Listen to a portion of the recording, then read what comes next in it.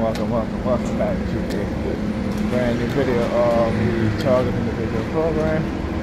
Target Individual Experience. Uh, yeah, you know, let me, um, oh yes, let me continue on with the Meagan Good situation.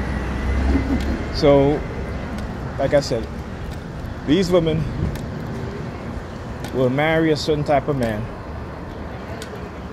and still want to act as if you know that that man that they married that his reputation doesn't matter that what he says doesn't matter that his uh,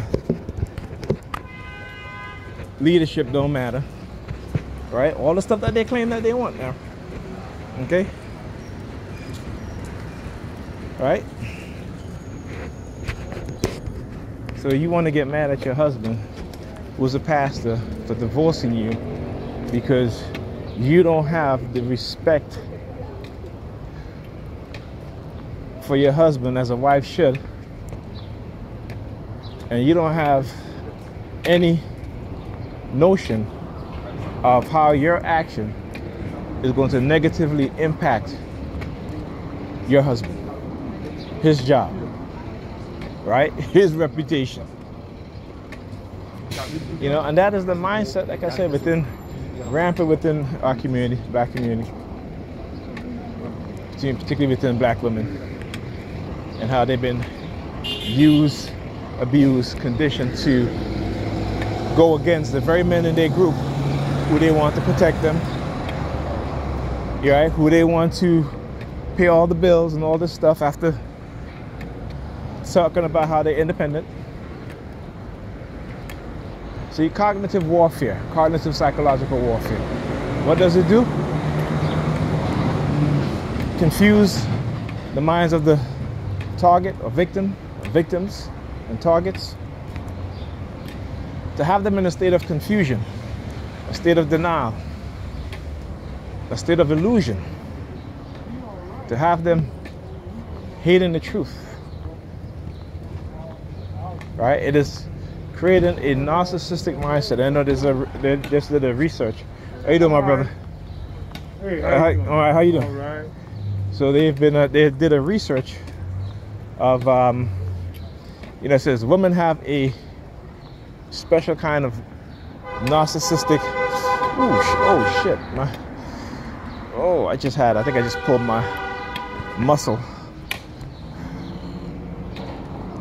But anyway, there's a there's is a research that it was done about women having a certain different kind of narcissistic personality that's different from your so-called regular diagnosis or that uh, trait of what would be considered um, you know you, you can't categorize male narcissism and female narcissism as being the same okay that's what it is. So they have a certain, a special kind of narcissism, one that is overlooked, one that is not talked about, one that victimizes men, right? While at the same time praises women. I would say victimize and villainize men, uh, and then praise women for their toxic personalities and toxic behaviors. But it's, again, let's talk about reward and punishment. All right. So anyway, with Meagan Good, as I said, she, I'm like, how could you be mad? Did you even talk to your husband about the role? And if you spoke to him about the role, did you give all the details? Did you say that you're going to be in the scene or play a you know, lesbian character or, or what have you, you got to have boundaries. I mean, I understand you're an actress. There's certain actors that won't do nudity. You ever see Nicole Kidman do nudity? You ever see Viola Davis do nudity? Whoopi Goldberg? You ever see, you know, or you ever see them in, uh, star in a role in which, you know, and it's fine if they do. You know, they're not married to pastors. You got it as a, you know, for women, you have to consider your man, your husband, his feelings.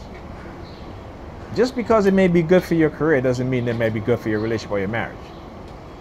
And if your career is more important than your marriage, your relationship, you shouldn't be in a relationship. And your husband should leave you. If you're not gonna, if you're not considering his feelings, right? If you're saying that what he says or think don't matter, you're gonna do what you're gonna do. Then why get married?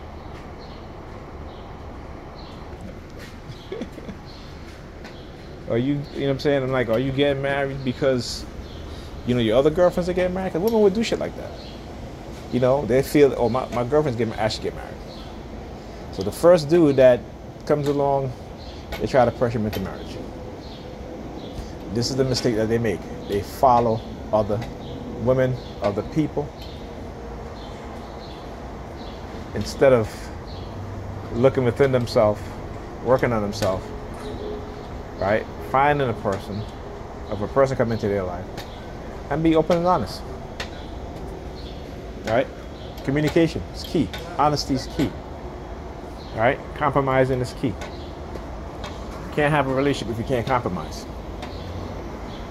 Right? You can't have a relationship if you don't take the other person's feelings into consideration. You can't have a relationship, a marriage you have if you're not willing to grow. Right? If you're not willing to uh, have maturity. All right? And yeah, talk to you guys in this video.